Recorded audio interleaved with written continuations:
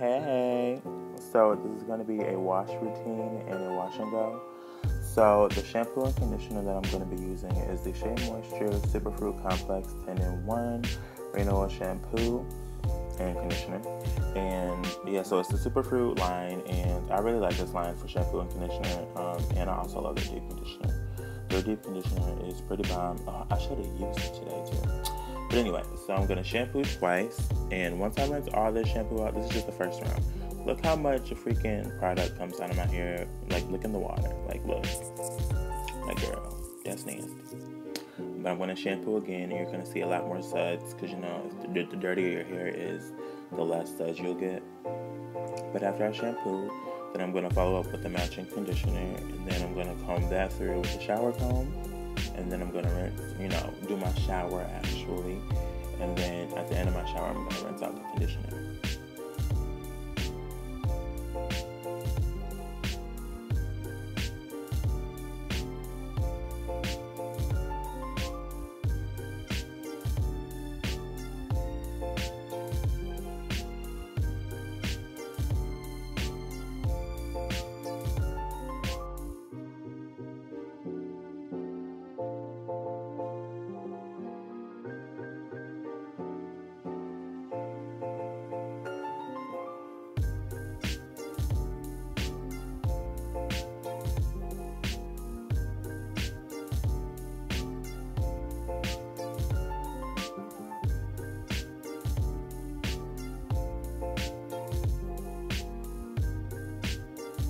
So now onto the conditioning. I use a lot of conditioning because I need that slip, you know what I'm saying? So after I get like my 100 pumps, I'm just gonna spread it through my hair.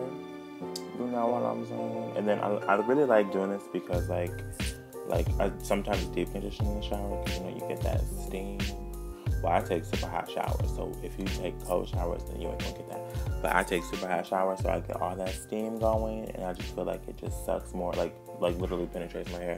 So that sentence was just really something.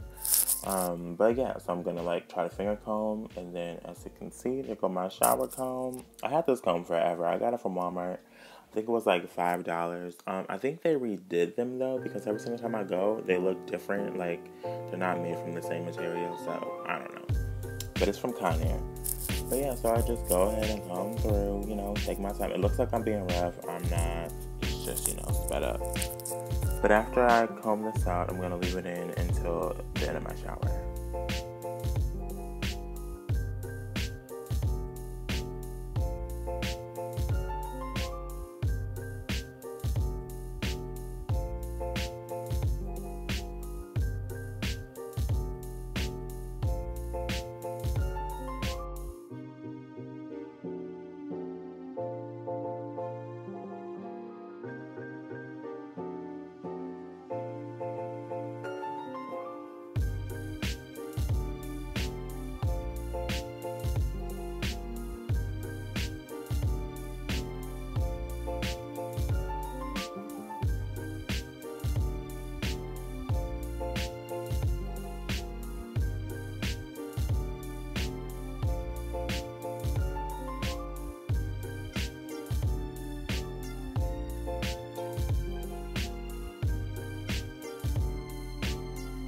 So onto the styling part, so I'm using the Alikay Naturals Lemongrass Leave-In Conditioner. Um, I find that when I use like a lot more than I normally use, I like it better. So I use like, well, as you can see, a lot. It still smells like um, Pine-Sol, but whatever.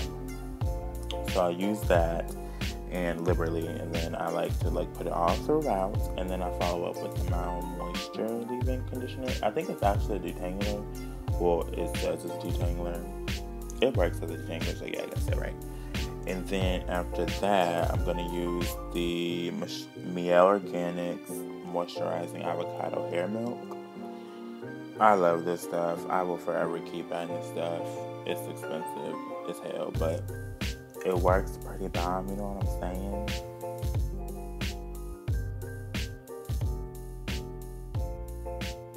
So now I'm using my Denman brush. I never really used the Denman brush. I never really brushed my hair after I've already tangled it, but I wanted to try something new just to like smooth the product through. Um, honestly, I don't see a difference in my hair, to be honest. So, I mean, I don't know. Maybe I'll keep using it, maybe not.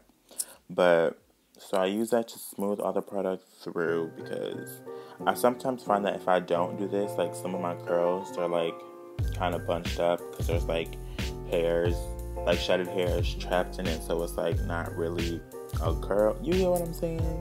So it kind of just look busted. But anyway, after I brush all that through, I shake my head, and then I get super dizzy. And then after this, I'm going to follow up with the Curling Custard by Miss Jessie's. I always get confused between Miss Jessie's and Aunt Jessie's. My bad, but it's Miss Jessie's. So I just put all this throughout my hair and shake like crazy. Um, I also put a lot more after I turned the camera off. Um, just why not, you know? I just wanted to be extra, so I put in a whole bunch more. And so after this, I start to diffuse, which I almost dropped. Um, and after I diffuse for about like a good five minutes, then I take the other attachment, the concentrator nozzle, just to stretch out my hair a little bit because I don't really like my hair to be shrunken. Like honestly, my perfect wash and go is when I don't use the gel and oh sorry, and I pick my hair while I'm using the concentrator nozzle at my roots so it stretches my roots out and my hair is like super big and mm, that's just so cute. But today I didn't do that because I just wanted more curls, you know, more definition as possible.